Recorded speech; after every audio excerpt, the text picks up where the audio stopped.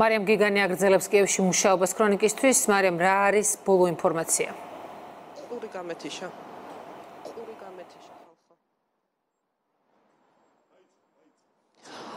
ცოტა ხნის წინ გავრცელდა ინფორმაცია, რომ უკრაინულ ვებგვერდებზე განხორციელდა თავდასხმა, კერძოდ საუბარი არის სამთავრობო ვებსაიტებზე, მათ შორის უკრაინის საგარეო საქმეთა სამინისტროს, უკრაინის შინაგან საქმეთა სამინისტროს და უკრაინის რადას ვებგვერდებზე, როგორც უკრაინელი ექსპერტები, ასევე უცხოელი ექსპერტები განმარტავდნენ და ასევე დასავლეთის სახელმწიფოს მაღალჩინოსნები, რომ სწორედ კიბერთავდასხმების შესაძლოა ყოფილიყო რუსეთის მიერ უკრაინაში შეჭრის წინაპირობა, თუ რამდენად მოახლოებულია შეჭრილია რუსეთის მიერ უკრაინაში შეჭრის საფრთხე და რას ნიშნავს ის გადაწყვეტილება უკრაინის პრეზიდენტის მიერ რომ სამხედრო სამსახურში გაიწვია რეზერვისტები ამ საკითხზე ჩვენ გავესაუბრეთ სამხედრო ექსპერტს ანდრეი ზოლოტარევს რომელმაც განგვემარტა რომ ეს არ ნიშნავს სამხედრო მობილიზებას.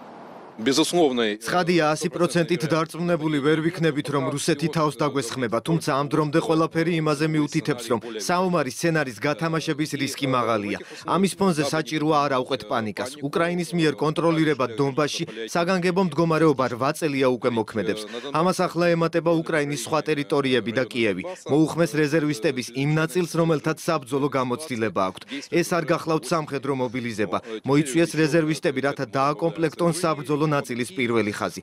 მოვლენათა განვითარებას რაც შეეხება, გასულ დღეებში დონეცკსა და ლუგანსკში ხალხის ევაკუაცია განხორციელდა, რამაც მე 2008 წლის ცხინვალის სიტუაცია მომაგონა. თუ კი პარალელს გავავლებთ, შეიძლება ითქვას, რომ ახლა 6-7 აგვისტოს მდგომარეობა გვაქვს. პუტინი ემზადება სამხედრო ოპერაციისთვის და ეს აშკარაა. საველე პირობებში რუსული ჯარები დიდხანს ვერ იქნებიან, ან უკან უნდა წაიყვანოს ან წინ. ახლა გადამწყვეტი მნიშვნელობისა არ დაუშვათ, რომ პუტინმა დონბასის გათავისუფლების ლოზუნგით თავისი ოპერაციის მეორე ნაწილია ამოქმედოს.